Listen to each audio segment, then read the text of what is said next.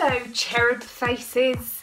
Today we are going through the requested vlogs as per requested by you Dreamboats and today's one is focusing on the tumble dryer. So we are going to head down now to the tumble dryer room, cubby hole, little section and I'm going to show you the best ways to clean your tumble dryer. When it comes to cleaning our tumble dryers, most of us know the lint tray needs cleaning out, but there is so much more to it than just removing the lint. I'm going to show you in this vlog how we can keep our tumble dryers well cleaned and in turn this keeps them a healthy, maintained tumble dryer which should last you the lifespan of the dryer.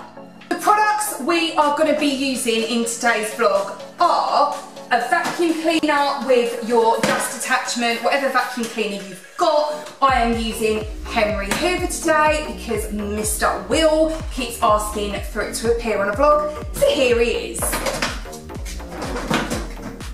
Um, so go ahead and grab your dust attachment.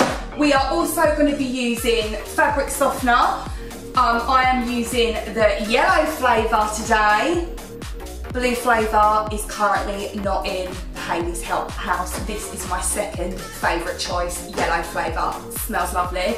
We are also going to be using our OXO Good Grips attachments, some kitchen roll, and in here I have a cloth and one side I have some antibacterial dish soap, which is where it's all bubbly, and then the other side I have the fabric softener in some hot water. So I'm just going to place that down here for now, because we are going to be using that shortly.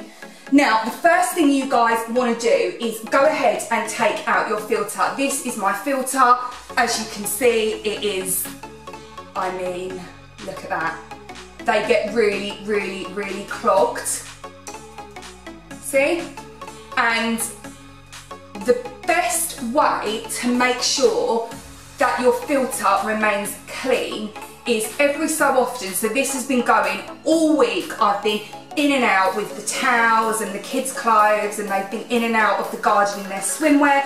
So it's just everything's been going through the tumble dryer and the bedding. What you want to do is to make sure that you've got it clean, you don't want to just remove the lint, you also want to wash it. And the best way to make sure that there's no um, lint left inside the lint tray is go ahead and put it in our fabric softener solution. You can do it in a sink if you've not got a bucket. I just brought the bucket over here for ease. And this is a really good Hayley's Helpful Hack as well because your washing will smell gorge because some of the um, fabric softener will cling to the tray that we're now cleaning. And then you just want to make sure that you've given it a really good clean and this is where we are going to go in with our good grips. So my lint tray, there's lots of like little gaps in it that um, what we want to achieve in this is you don't want anything left on your screen. We'll move over to the sink in a second where I'm gonna then rinse it under cold water and we're gonna keep repeating this process. But basically, the end result you want is the fabric softener solution to run through without any bits on it. So, get inside all of the little nooks and crannies with your OXO Good Grips. This will just pull out any of the dust that's left in there if you've got one of these ones with the silicone end. These work a dream at getting any kind of debris that's stuck in there out. These are really, really good without actually breaking the drawer itself because we don't want that. And you just want to keep going over it until it comes up clean. We're going to leave that soaking in here for a second while we press on to the next phase in our tumble dryer cleanup. So, we've taken the lint tray out, you then obviously have the dip bit inside where the lint tray goes, that I can see my one is full of lint. So to get that out, I'm just going to use the dust attachment on um, my vacuum cleaner. If it's really, really big bits, remove it manually with your hands. These aren't huge bits, but there's just little bits stuck around the edge. So I'm going to go in with the dust attachment and remove those now.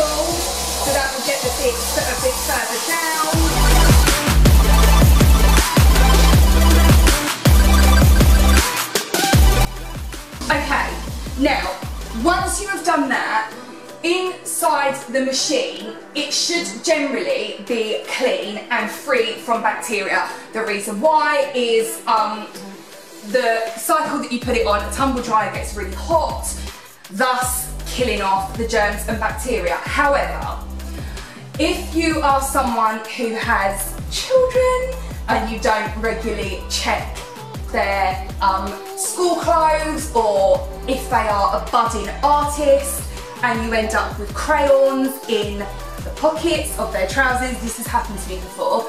And they fall out in your tumble dryer. What can happen is the crayon then melts onto the inside. So, here is another hack for you guys. What you want to do is close your door on your machine, set it onto the hottest cycle, run it for about 10 minutes. This is then going to go ahead and melt what you then want to do is open it up and go in with a damp cloth and clean away any of the excess crayon that is lurking in here because otherwise every load that you do you're going to just be putting um, crayon on your clothes and it is a pain in the neck to shift and it can destroy your stuff. I mean we've had all sorts in here before like ink explosions and it's just the joys of being a mum, you know? So, um, yeah, that is what you want to do if that's the case. If not, then you're good to go with the inside. This doesn't need putting loads of buckets of stuff in there. Just leave it as it is, leave it dry. Okay, now we're going to press on to the door.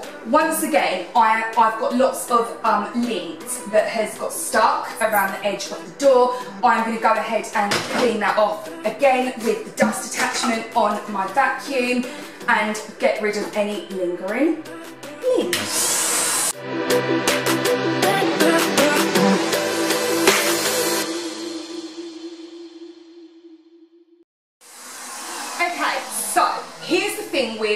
Dryers, when it comes to cleaning tumble dryers, your vacuum is actually your best friend in terms of cleaning it up. You don't want to start like with the washing machine, it's a completely different process because obviously the washing machine stays um, where it's to wash clothes. Um, you haven't seen me do anything with the vacuum on the washing machine because you don't want to damage your vacuum and it's similar with the tumble dryer. You don't want to start putting loads of solution and stuff into the dryer. Because it's dry you want to go ahead and use dry tools as much as you can. With the exception being the filter is okay to go into water and um, this outlet part I'm going to show you now we're going to move on to that can also be washed as well but other than that you don't want to start um, placing loads of water within your tumble dryer. Um, obviously, if you have a crayon or something like that in there, go ahead and heat it up and then you can go in with a damp cloth. But you don't need to start saturating it. Don't start smothering the whole thing with water. Okay, so now we are going to press on to the actual vent. So mine is a condenser dryer. So the tumble dryers will be different depending on what you've got. Some will have like a vent that goes outside into the wall um, through a tube through the back. If you've got a condenser dryer, then this is how you would clean your condenser dryer. Um, but if you've got a vent that goes outside, you need to make sure that that is being cleaned regularly because if the vent is blocked, it can cause um, house fires. So, Jesus fix it. I'm going to show you guys the vent of my um, condenser dryer. It's the worst. So this comes out, that is currently the state of it. I mean, this is fine to go. This is gonna go in the solution as well. This bucket isn't big enough, so we're gonna press over to the sink in a second and I'm gonna show you how to go ahead and clean it all in the sink. But that needs to come out and then this part also needs to come out. Look at that. I mean, hello? So what I tend to do with this is this will get put into the shower and I will rinse it in the shower. I've got a little attachment like a hair catcher thing that can go in first and I make sure that this gets showered down. It's absolutely fine to do that but you want to remove all of the lint that's got trapped into this part of your dryer. That needs to be removed and also the inside of the drawer Mine isn't looking too bad, but I'll just show you with some kitchen roll the stuff that comes out from in here that has got trapped. It's basically just wet lint, but it's just, it's really gross and it can damage your tumble dryer if you're not keeping on top of these things. So that is from the inside. I know, right? It's disgusting. So, um, yeah, once you've done that, this part you don't want to touch with your vacuum cleaner because, especially if it's a condenser one, well, I guess either or actually, because where it's the hot air that's pumping out, it will be damp. So don't go in with your um, vacuum because it's just going to end up clogging it up. You want to do this manually and some kitchen roll is absolutely fine or a clean um, cloth is fine. You can use a dampish sort of cloth if you want but just don't use anything soaking wet in these particular parts of the tumble dryer. So let's press on now to, now we've got all the elements out that we're going to be cleaning, let's relocate to the bathroom and we're going to clean them up now.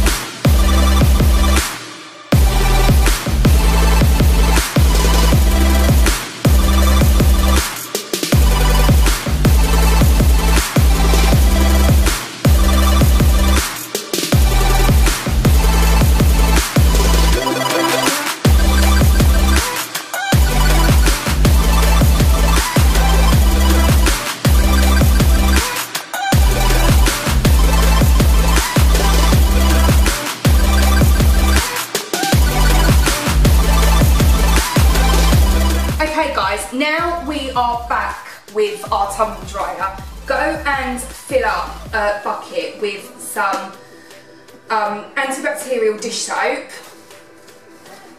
and you don't want your cloth soaking wet, just have it so it's just like slightly damp and any kind of dusty bits that are on your dryer, you can go over and wipe them. We're to wipe down the front as well in a second. And just give it a good wipe over with your dish soap.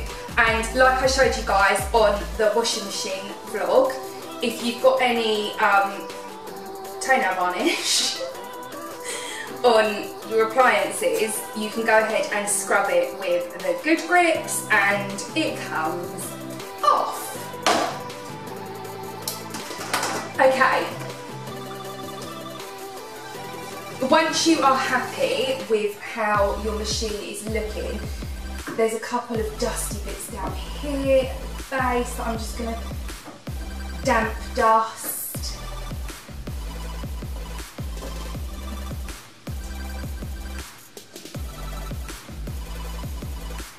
And a bit like the um, washing machine as well, any kind of cracks and crevices that you've got, um,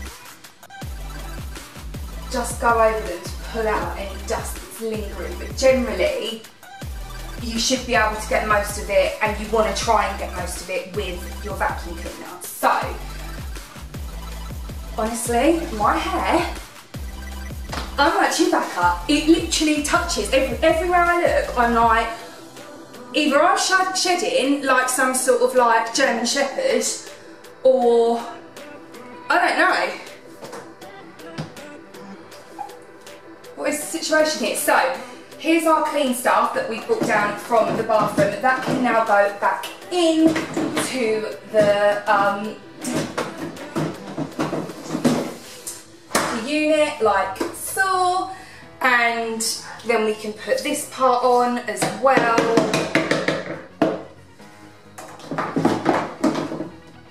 Like that, just make sure you clip it back on with the clips on the front of it. And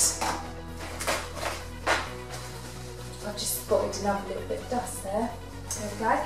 And then you can go ahead and clip the front back on to the machine as well.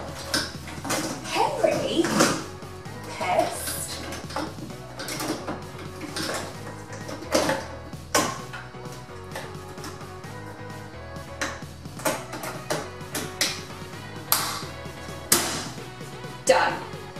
Okay, now that is done, we are going to press on to cleaning the actual front of the machine. For this, it's entirely up to you what you use. You can either go over it with your antibacterial dish soap, which is what I'm going to be using today, um, or you can go for a more um, natural cleaning method, I guess. You can use something like white vinegar I just don't like the smell of it it just doesn't smell nice but um, I know some of you guys on here prefer natural cleaning methods so um, white vinegar is fine to use as well if you choose to.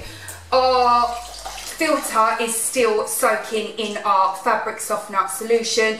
I am now gonna, oh it smells so nice. I'm now gonna take it out and um, leave that on the side just to drip dry and we are going to close the door and press on to cleaning the front of the machine. Okay, so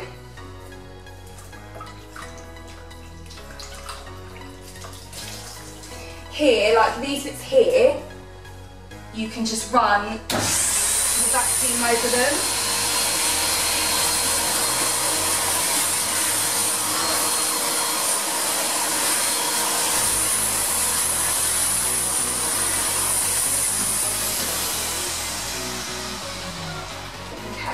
For the actual machine itself, we are just going to give it a quick wipe down. So you're going to wipe down at the top of it.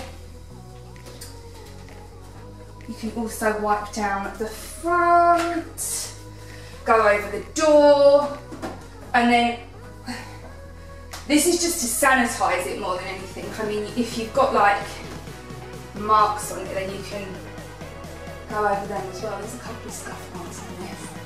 Why does my stuff get so scuffed? So annoying. Okay, and then once you have given it a quick wipe over, you can then go ahead and dry it off with either a clean microfiber cloth or some kitchen roll. Whatever you have got to hand is fine. We'll be right back.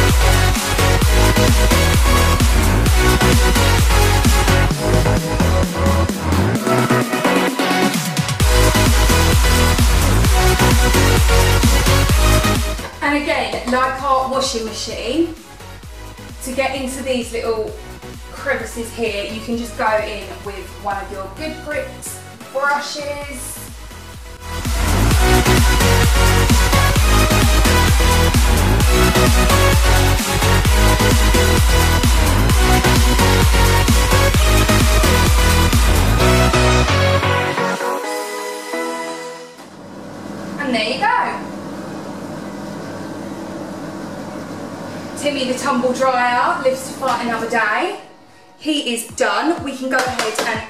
filter back into the tumble dryer now. The vents of your dryer, depending on how many of you are in your family, if you've got a large family, you want to make sure that this vent bit here, you need to clean it at least three times a year, if not more. Three or four times a year, you want to make sure you're cleaning that. If you don't have a um, really large family and it's only like you or one other person or you tend to not use your tumble dryer that often then um, you can go ahead and do it yearly. But if you are a big family I would advise that you do it three to four times a year. Just clean it out. Um, like I've shown you in the video go and use your tub to clean it. And like I said if you've got one where the vent is at the back of your machine go ahead round to the back of your machine and just give it a good clean out to make sure that it's free of any lint, any hair because it does get quite wet and then it just gets clogged. Um, and it can be dangerous in terms of um, the machine. And, can, and no one wants their tumble dryers to break. I mean, I don't know what I'd do without my tumble dryer now I've got it it's just so handy when you need to get stuff dry and I can't put a lot of my stuff out on the line um, because I get really, really bad hay fever. Um, and my eldest son also gets allergies, so I can't really have stuff out on the line. I do sometimes put a few things out there, but generally I use Timmy, the tumble dryer. So there you go, that is our tumble dryer clean. And that's the end of the vlog. Thanks for watching the vlog today guys. I hope you have all enjoyed it. If you have, go ahead and smash the like button. Don't forget to click subscribe to become a part of the Hayley's Help family. And also head on over to the Hayley's Help Home Instagram. I have set up a brand new base page for us all. Um, on here I'm going to be adding all of my homewares and just stuff around my home. I will still have my Hayley's Help Instagram account as well so you can flip between the two. So head over now and hit the follow button. I will appreciate it greatly. And I will be back again on Wednesday. We are going to be doing the Hug Date with Hayley, which is where I get to come on here live and speak to you gorgeous people. It's going to be fun. We're going to have a party. I'm going to bring my tonic water and we're just going to have some general silliness. Bring along any questions that you've got as well and I will try my best to answer them, whatever they are, and I will see you all on Wednesday. Look after yourselves, stay hydrated, be kind, take care of each other. Bye.